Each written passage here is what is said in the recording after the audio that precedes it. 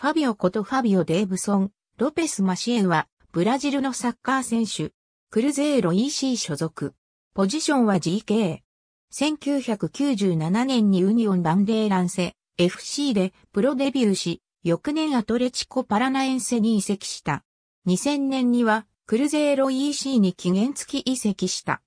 2000年から2004年にかけて、CR バスコダガマに所属し、2000年にはコパドブラジル、カンピオナートブラジレーロセリエ A、コパメルコスールを制した。2005年からクルゼーロに復帰。2007シーズンの初めは、非常に不安定なコンディションでミスも多く見られた。カンピオナートミネイロのアトレチコミネーロ戦では、相手フォワードがペナルティーボックスに近づいているにもかかわらず、それよりも前に陣取っており、それによって得点された。これを見たクルゼーロのサポーターは彼をスターティングメンバーから外すように要請した。彼は偶然にもこの試合の直後に怪我を訴え、彼は3ヶ月の離脱となった。なお彼はこの試合では負傷したような元ぶりは特に見られなかった。7月半ばに復帰すると、再びレギュラーの座を確保、フォームも改善し、サポーターからも受け入れられ、代表にも招集された。同年11月には、冬の移籍市場での移籍の噂も立っていた中で2009年12月までの契約延長を発表した。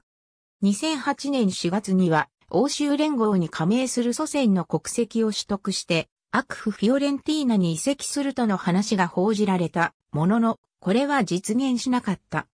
ブラジルのゴールキーパーはここ数年非常にレベルが高くて、我々の国には、サンパウロのロジェリオセにサントスのファビオ・コスタ、インテルのジュリオ・セザルといった選手が今いるんだ。僕はブラジル代表のために落ち着いて自分のできることをしたいね。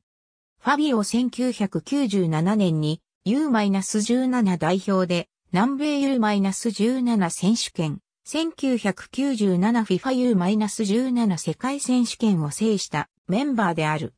A 代表としては FIFA コンフェデレーションズカップ2003コパアメリカ2004の際にブラジル代表に招集されたが、出場機会はなかった。その後2006年8月16日には、ドゥンガ監督からノルウェー代表との親善試合のメンバーに招集されたものの出場機会はなく、その後9月3日、5日に行われたアルゼンチン代表、ウェールズ代表戦でもエウレリョ・ゴメスの控えに甘んじ、出場できなかった。この時、彼は控えというポジションであったことを理解していながらも、ブラジル代表として招集されたことを光栄に幸せに思っていると述べた。ありがとうございます。